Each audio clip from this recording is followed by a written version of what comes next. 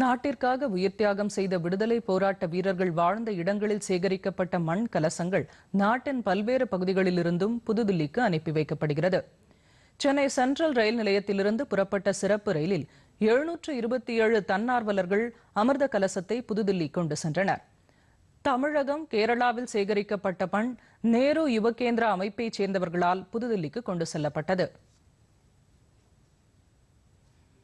வந்து நீலகிரி மாவட்டத்திலிருந்து தேர்வு செய்யப்பட்டு இந்த மாணவ செல்வங்கள் டெல்லி பிரயாணத்துக்கு போயிட்டு இருக்கோம் இங்கே வந்து இந்த பிரயாணம் வந்து இந்த ஜேர்னி வந்து நம்மளுக்கு சென்னையிலேருந்து அரேஞ்ச் பண்ணி கொடுத்துருக்காங்க. இது வந்து ரொம்ப ஒரு சிறப்பு வாய்ந்த அமை இது கரமாக வந்து எங்களுக்கு அமைஞ்சு கொடுத்துருக்குது. நம்ம நாட்டுக்காக தியாகம் செஞ்ச வீரர்கள் அவங்களுக்கு வந்து நாங்கள் வணங்குற விதமாக இந்த ப்ரோக்ராம் வந்து நாங்கள் பண்ணிகிட்ருக்கோம் இப்போ நாங்கள் டெல்லி போயிட்டுருக்கோம். எங்ககிட்ட வந்து ஃபோர்டீன் பிளாக்ல பண்ண இந்த கலச யாத்ராவை அந்த கலசம் இருக்குது அதை எடுத்துகிட்டு போயிட்டு நாங்கள் அங்கே சப்மிட் பண்ண போகிறோம் அதுக்காக போயிட்டுருக்கோம். மதுரை மாவட்டத்தில் ஆயிரத்து இருநூற்றி எழுபது கிராமங்களில் சேகரிக்கப்பட்ட மண் புதுதில்லிக்கு அனுப்பி வைக்கப்பட்டது. மத்திய பேருந்து நிலையத்தில் நடைபெற்ற விழாவில் மதுரை விருதுநகர் தேனி உள்ளிட்ட மாவட்டங்களில் விடுதலை போராட்ட வீரர்கள் பிறந்த வாழ்ந்த இடங்களில் சேகரிக்கப்பட்ட மண் புதுதில்லி கொண்டு செல்லப்பட்டது. இதில் இளைஞர் மன்ற உறுப்பினர்கள் பலரும் கலந்து கொண்டு மண் சேகரிக்கப்பட்ட கலசங்களை கொண்டு சென்றனர்.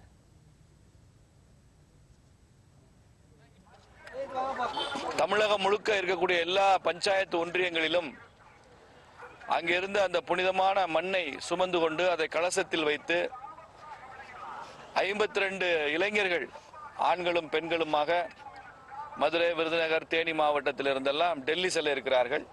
இந்த மாணவர்களை எல்லாம் நான் வாழ்த்தி வழி அனுப்புகிறேன் இந்த இளைஞர்கள் எல்லாம் என் தேசம் என் தேசம் என் மண் என் மழை என் மண் என் தேசம் என் என் மண். என் தேசம்.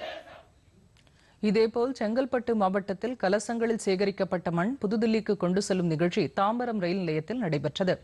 சிறப்பு ரயிலில் கலசத்தில் சேகரிக்கப்பட்ட மண்ணை பாஜக நிர்வாகிகள் புதுதில்லிக்கு கொண்டு சென்றனர்.